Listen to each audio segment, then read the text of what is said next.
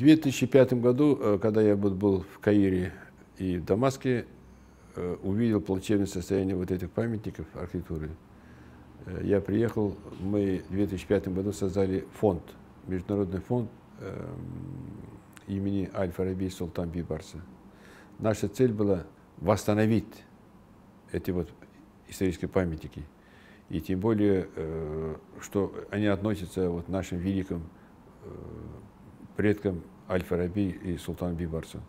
Мы собрали определенную сумму, мы начали э, такие вот э, такие вот подготовительные работы по изучению, э, по съемке, тип, э, э, по изучению земельных участков, освобождению территорий, вот, проект, это, макеты.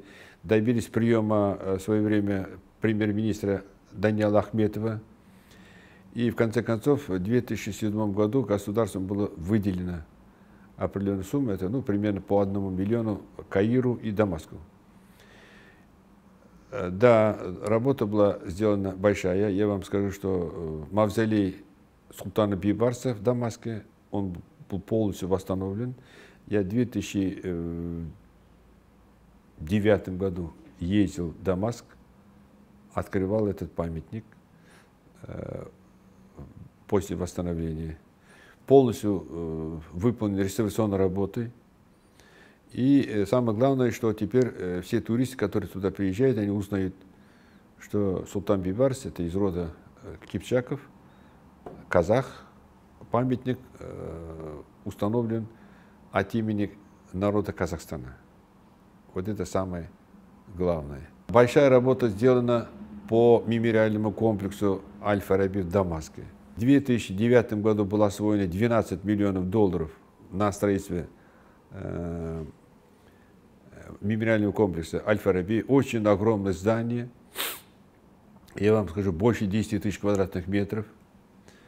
Э, строительная работа в основном закончена. Оставалось там буквально немного, чуть-чуть времени на приобретение мебели, расстановку. Э, организация по созданию библиотеки, там, ну, в общем, такие вот орг вопросы. Работы приостановлены. Вот. Ну, я думаю, что как только вот обстановка позволит, я думаю, наверное, каз-реставрация будет завершать. Я на это надеюсь. Но как-то, ну, сейчас вот видите, уже идет небольшая стабилизация. А, возможно, на следующий год я планирую вообще съездить туда еще раз.